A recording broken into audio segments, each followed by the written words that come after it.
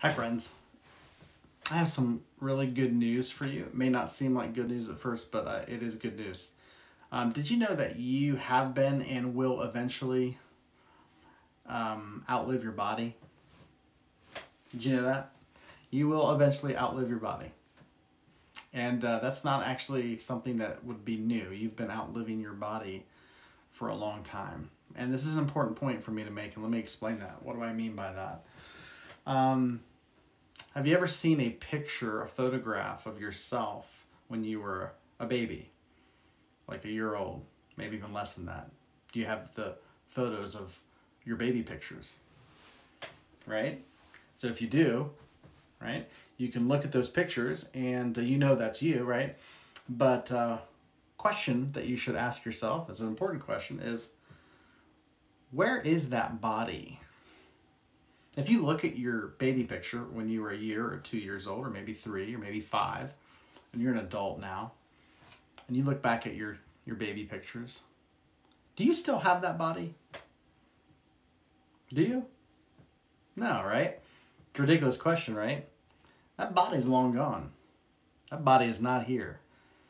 Actually, um, and you probably know this, you're probably aware of this, the human body is constant. Cells. It's made up of, I think, about 37 trillion cells in the human body. And those cells are constantly dying, and new cells are being regenerated on a regular basis. And after about, I believe, seven years, could be wrong about that, but I think about after about seven years, you have a completely new body. Did you know that? Your cells are completely different. There is not one cell in your body that you have right now that was there when you were born. Did you know that? That's right. That's why when you look at pictures from your past, it's a completely different body. That body's not there. But you're still here, right? I mean, you're here, right? So who are you? Isn't that an interesting question? So many of us are body identified. We see ourselves primarily through our body. And so that's why when, you know, the body dies, the there's an existential crisis because we're like, well, who if we if the body dies then is that our life? Is our life over? Is there anything beyond that? But I just want to remind you that your body has been dying from day 1. You don't even have the same body. You've had several bodies. At my age, I've had several bodies in my lifetime. Several. And that'll continue. And eventually I'll grow this entire construct. But I am not my body, and neither are you. It's really important you remember that, especially when we have crises like we have today with the pandemic. Whenever we have a health crisis, it's actually an opportunity. It's an opportunity to come back to who you are and you are not your body, okay? You're not your body. You go beyond your body. When we are body identified and something happens to the body, we get shaken at the core of our being. It frightens us. It causes anxiety and stress. Anytime something happens to your body can shake you when you are identified with your body. You, however, are the common denominator. You've had many bodies in your lifetime you you're not the same body you were when you were one year when you were one when you were five when you were ten. You're not the same body but yet you are the same. You are the constant. Your body is changing. Your body is in flux. Your body is coming in and coming out. It's coming coming in line it's coming offline. It's coming into into life and it's dying. This is a constant cycle but you are the constant. You are the remaining. You're the unchanging one. You are the one that remains. Yesterday, today, forever. It's you, your essence, your being.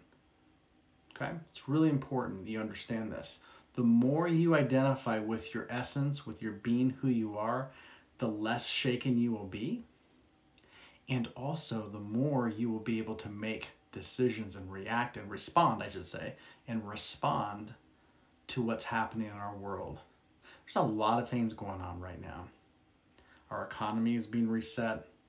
There are important conversations that we're having at a at a collective level, national level about what healthcare is, what's going to happen in the future about our healthcare, And we really need all of us to be uh, non body identified. We need to be rooted in our truest, highest essence so that we are not manipulated by fear and panic. Because any decision we make, either personally or collectively, that comes from fear or panic will not be good decisions for our health, politically, emotionally, spiritually. You never want to make decisions in fear. Okay? So we're going to need to be identified with our highest self in this we're to we're to need that in the days ahead in the future, okay?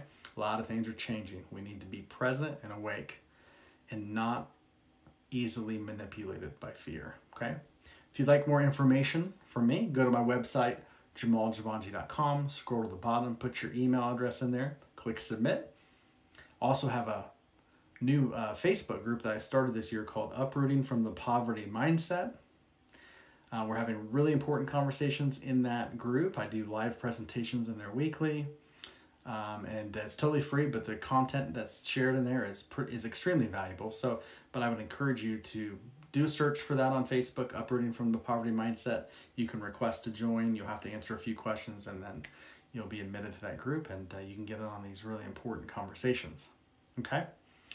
All right, guys. Be well.